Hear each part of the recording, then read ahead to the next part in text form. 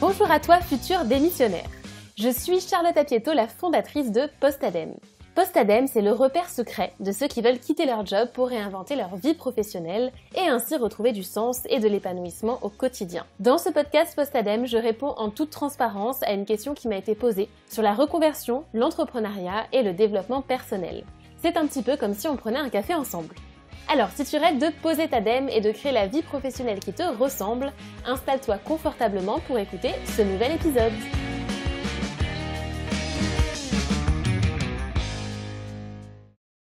Dans l'épisode d'aujourd'hui, je vais répondre à la question suivante. Comment se reposer? Comment faire pour ne rien faire?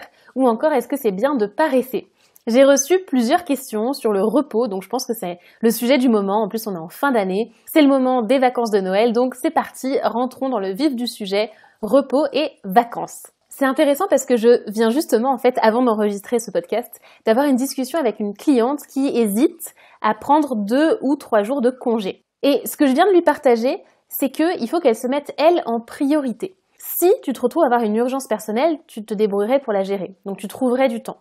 Euh, si tu étais invité à passer une semaine gratuitement euh, sur une île paradisiaque, en admettant que tu aimes bien les îles paradisiaques, il y a des chances, eh bien tu organiserais ton agenda en fonction. Tu aurais déjà ta semaine calée dans ton agenda un an à l'avance pour tes vacances paradisiaques. Donc, en fait, là, ce que tu es en train de voir, c'est que le temps de travail que tu as, il va dépendre du temps de, de, vacances et de repos que tu te fixes au départ. Et c'est pourquoi, moi, ma philosophie, c'est de me dire, ben, je vais d'abord savoir à l'avance quand je vais me reposer. Alors après, il y a des moments de repos où on en a besoin parce que euh, on s'attendait pas à être aussi fatigué, ou on a été un petit peu malade, ou je ne sais quoi. Mais en tout cas, mes moments de repos et de break et de vacances importants dans l'année, je le sais à l'avance. Notamment l'été. Moi, je me prends au moins six semaines de vacances. Je sais que c'est assez rare parmi les entrepreneurs. J'ai six semaines où je sais que je ne vais pas travailler et je vais déjà commencer à ralentir début juillet. Bon, ben du coup, mon année, elle est organisée autour des 10 mois de travail. Et mon chiffre d'affaires, il est organisé autour de ça.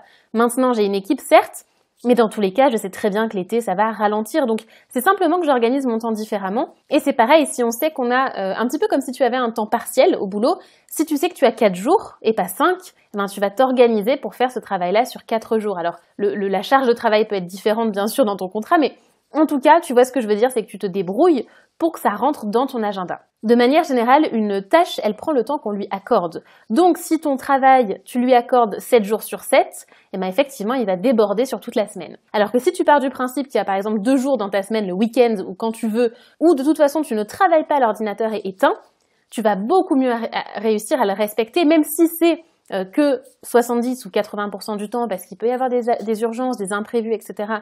Ça arrive à tout le monde, mais au moins la majorité de ton temps, tu arriveras à respecter euh, ce temps de repos. Donc ça, si tu veux, c'est dans la pratique de, comment organiser euh, ce temps de repos. Néanmoins, on peut avoir des fonctionnements inconscients qui nous empêchent de déconnecter, qui nous empêchent de ne pas travailler et de se reposer.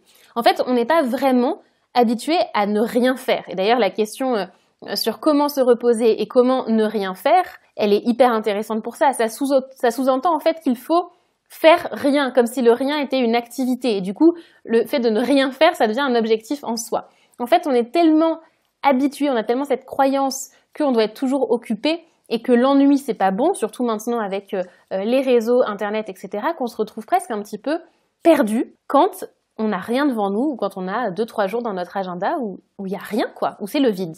Et cette crainte ou cette appréhension du vide, elle me fait penser aussi à la méditation. Et c'est pourquoi, même si là aujourd'hui tu as un peu ce, blocage inconscient vis-à-vis euh, du repos, c'est pour ça que tu peux le travailler un peu comme la méditation. La méditation, ça se travaille. On commence par exemple avec 10 minutes par jour. Il n'y a pas d'objectif si ce n'est d'être présent à soi-même. Et tu vois que la méditation, on se dit pas, bah tiens, je vais euh, euh, méditer euh, une heure par jour ou une, journée par semaine d'un coup. On va pas se mettre à ça d'un coup. Non, on va y aller petit pas par petit pas. On va se dire, allez, une petite durée, 10 minutes par jour, juste être présent à moi-même. Et eh ben, pour moi, se reposer, apprendre à se reposer, c'est pareil. Si naturellement tu le fais pas, c'est comme la méditation, c'est quelque chose qui s'entretient, qui se pratique, c'est un petit peu comme un muscle à entraîner, et c'est ça qui va te permettre aussi de tenir sur le long terme, plutôt aussi que d'avoir euh, d'être dans le sprint toute l'année et de terminer ton année complètement KO. Et d'ailleurs, si tu fonctionnes comme ça, tu as peut-être déjà remarqué, si tu es toujours en speed, en speed toute l'année, c'est souvent juste avant les vacances, enfin les 15 jours de congé, euh, que là, hop, tu craques, ou euh, le premier jour de tes vacances. Et eh ben ça, c'est parce que tu étais dans le speed tout le long et que tu n'as pas travaillé cette aptitude finalement à ne rien faire et à te reposer. Ensuite, ce que je peux te conseiller, c'est de savoir ce que toi tu attends de ce repos. Parce que si tu m'as posé cette question si tu la poses, est-ce que tu sais exactement, est-ce que tu es au clair sur ce que tu attends de ce repos? Est-ce que c'est de profiter de ta famille? Est-ce que c'est de dormir? Est-ce que c'est euh, de pouvoir faire des activités qui te plaisent? Est-ce que c'est justement de ne pas avoir d'objectif et de ne pas chercher à combler ton agenda?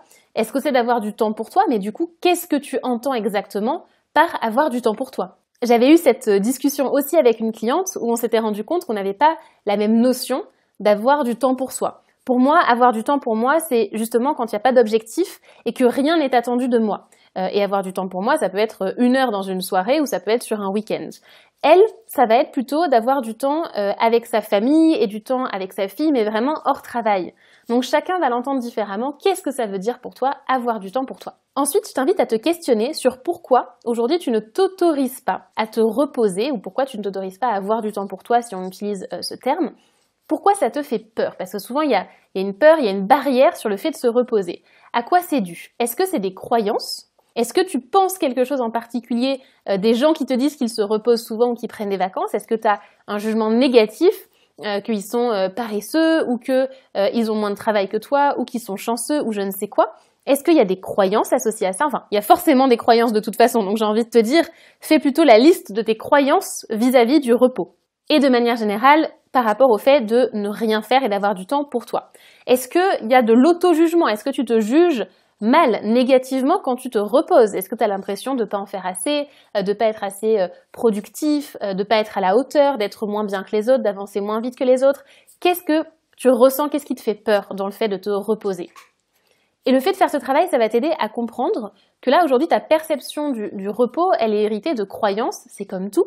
Et ça va t'aider peut-être aussi à relâcher la pression que tu mets sur le repos et un petit peu à te lâcher la grappe. Parce que se reposer, c'est se lâcher la grappe.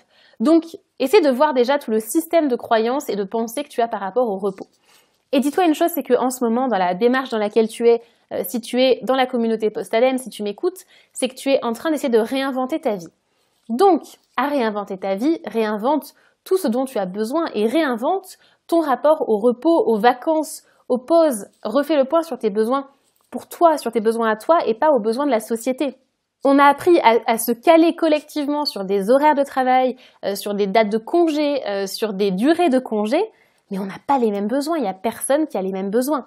Donc quand tu es à ton compte, déjà, tu as cette euh, liberté-là de pouvoir organiser ton temps de travail comme tu le souhaites, et là c'est à toi de définir tes propres besoins avant de plonger dans le même système que quand tu étais salarié. Et si tu es salarié, c'est là aussi de voir tes propres besoins à toi et de voir comment tu peux fixer tes limites ou faire ouvertement ta demande à ton employeur pour que ça corresponde davantage à ton fonctionnement. Donc voilà concernant le repos. Maintenant, j'aimerais rajouter une dernière chose par rapport au fait de paresser, hein, puisqu'il y avait une question là-dessus. Euh, le fait de, de de, de, ne rien faire, de pas chercher à produire quelque chose, moi je suis assez convaincue que ça stimule la créativité. Par exemple, c'est souvent, euh, tu l'as peut-être remarqué dans la douche qu'on a de bonnes idées ou quand on va se promener en nature qu'on a l'impression de commencer à être créatif et même si c'est pas sur le coup, ça va être à la sortie. Si tu prends une journée ou même deux heures de break pour aller te promener, tu penses à rien, tu regardes les petits animaux, les petites fleurs, etc. Bah, quand tu vas rentrer chez toi, il y a des chances, alors soit tout de suite, soit dans les heures qui suivent, que tu retrouves un petit peu de fraîcheur dans tes idées, dans ta créativité et dans ton énergie.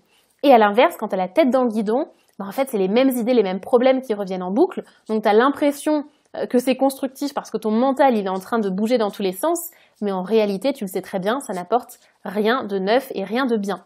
Donc, ma perception, c'est que oui, la paresse, le repos, alors la paresse, ça peut être un petit peu connoté, mais c'est le terme qui m'a été donné, le fait juste de pas chercher à produire quelque chose, de pas chercher à être productif pendant des temps régulièrement, hein, vraiment, que je te dis comme la méditation, comme n'importe quel muscle et aptitude, tu vas le travailler, le pratiquer de manière régulière, ça va avoir de bons résultats sur ta créativité, sur ton bien-être, sur ton stress aussi.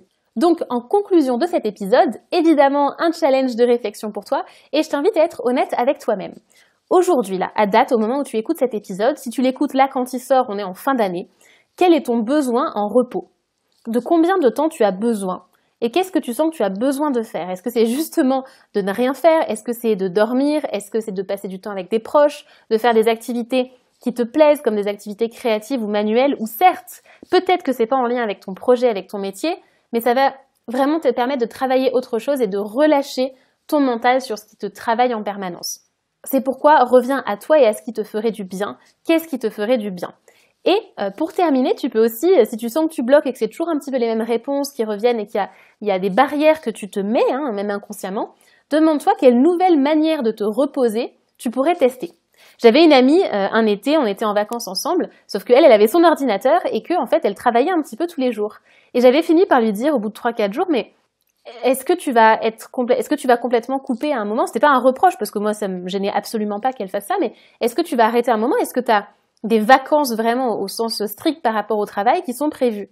Et elle m'avait dit, ben non, pas vraiment, parce qu'en fait, euh, le travail fait partie de ma vie, elle est entrepreneur.